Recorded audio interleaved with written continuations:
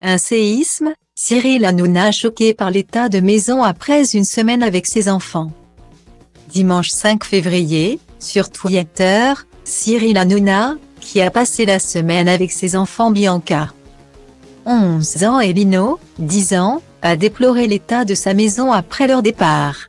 J'ai l'impression que dans la maison, il y a eu un séisme, a-t-il plaisanté. Ils font garde partagée. Cyril Hanouna et Émilie se sont rencontrés au début des années 2000. Par l'intermédiaire du Gérard Louvain. Et ils se sont aimés pendant 16 ans, ensemble. Ils ont eu deux enfants, Bianca, née en mars 2011, et Lino, né en mai 2012.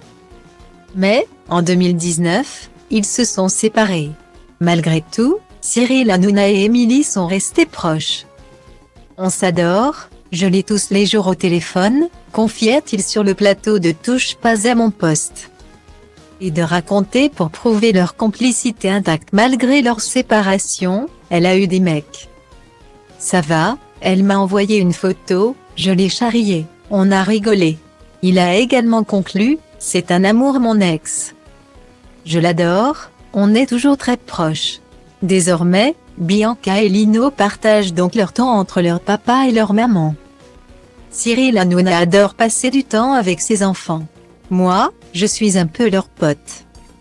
On ne se lâche pas. On est tout le temps ensemble, tout le temps au téléphone et c'est vrai que je suis plus un pote qu'un père. Mais j'ai l'impression que ça marche bien. Ils me disent plus de choses, j'ai l'impression qu'ils arrivent bien à se confier confiait-il au micro de Julie Obispo sur RZN Radio. Ajoutant, leur maman a l'autorité.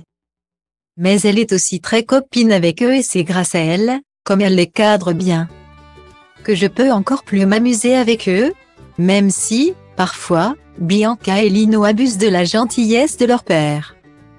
Comme cela a été le cas ces derniers jours. J'ai passé toute la semaine avec les enfants, a expliqué Cyril Hanouna sur Twitter dimanche 5 février. Avant de révéler, j'ai l'impression que dans la maison, il y a eu un séisme. C'est comme dans les émissions où ils vont tout nettoyer. Je vais dormir sur des cartons à pizza et des boîtes de McDo ce soir de quoi faire rire ses abonnés. Bon courage Cyril pour tout Ranger. Faites des gosses, bon rangement, c'est ça les enfants, c'est un joyeux bordel, a-t-on pu lire en commentaire.